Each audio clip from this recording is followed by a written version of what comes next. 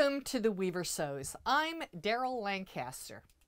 Just before the start of the holiday season, I fell and fractured my shoulder. At the point of this recording, the worst of the pain has subsided, and I'm slowly figuring out what I can do with one arm. Turns out, a lot. My sewing studio was a mess because I was in the middle of preparations for this part of my piecing video series with partially constructed pieces covering all the surfaces. My primary goal, once I got the pain and discomfort stabilized, was to see through this part so that I could clean the place up. So with one functioning arm and a couple of working fingers, I'm valiantly carrying on. At this point, we have all of our piecing completed. We have everything fused to the appropriate backing. I'm creating a mat and a tote using Peltex 71, which is a one-sided fusible. I'm piecing a summer dress, A-line, with sleeves, and it will have pockets. I've fused all the pieces to a backing of Fusi-Knit. We talked about backing materials in a previous episode. So all that's left to do is cover all of the butted pieces with something decorative. A rule of thumb I live by is that any trim of any kind stitched onto a garment should be bias. Of course, I break my rules all the time. This vest is trimmed with inkle woven bands.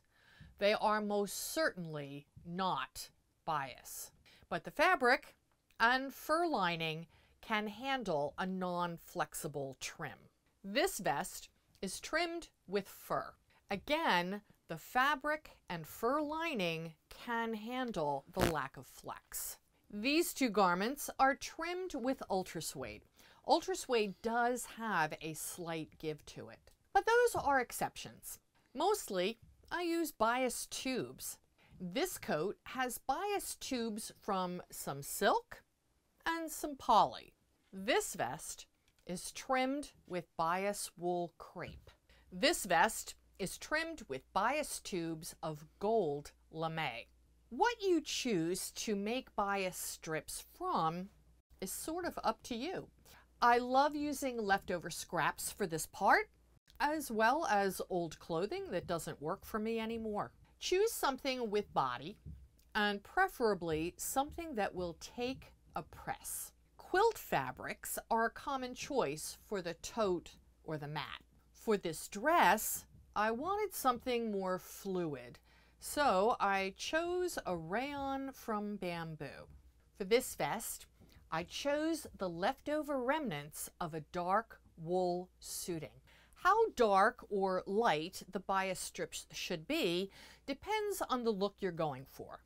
In this vest, I wanted a strong graphic outline to tie all the components together.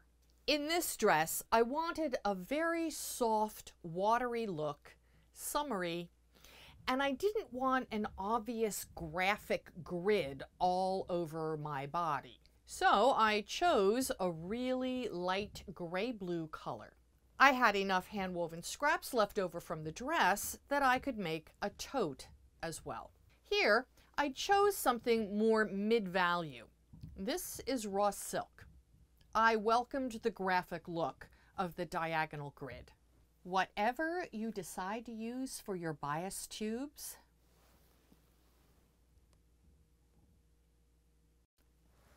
wash the fabric first.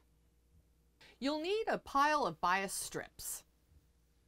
I cut mine one and a quarter inches or 3.2 centimeters wide.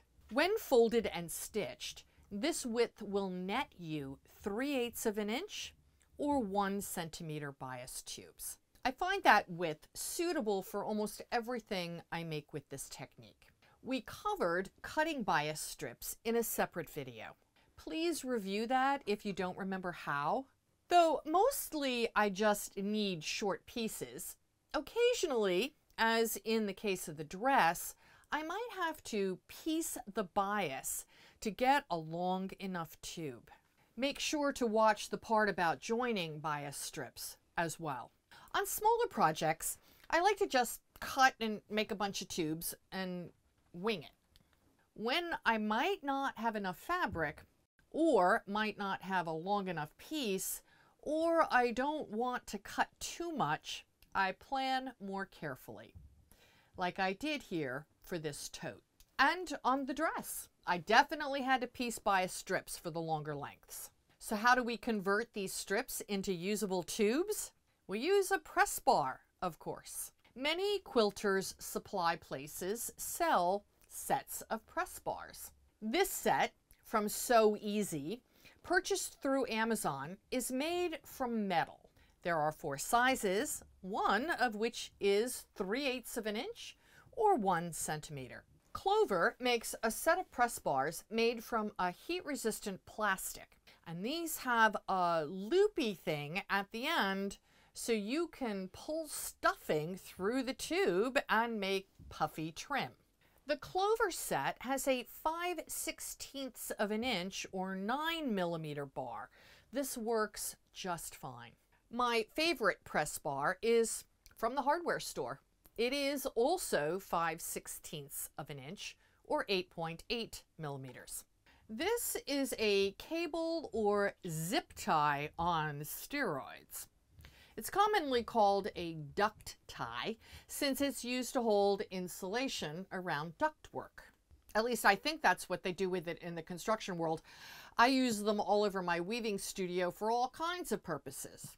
They too are heat resistant and they can come in really long lengths, though any length press bar will work.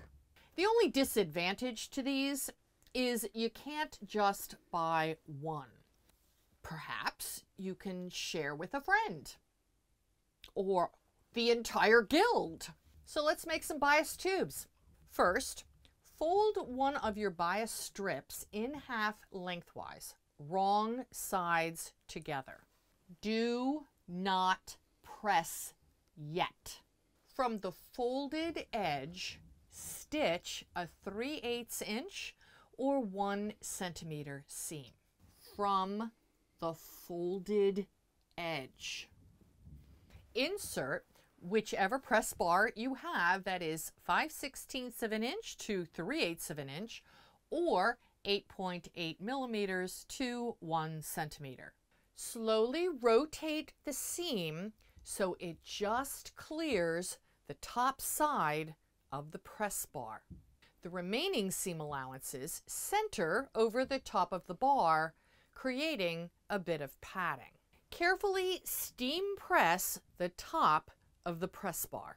Assuming your tube is longer than the press bar, slide the bar up the tube, repeating the process until the entire tube is pressed. Slip the press bar out of the tube and turn the tube over so the seam allowances are underneath and give the tube a final pressing. Next time, in part four, we will explore where and how to attach these cool little bias tubes. I'm Daryl Lancaster for The Weaver Sews.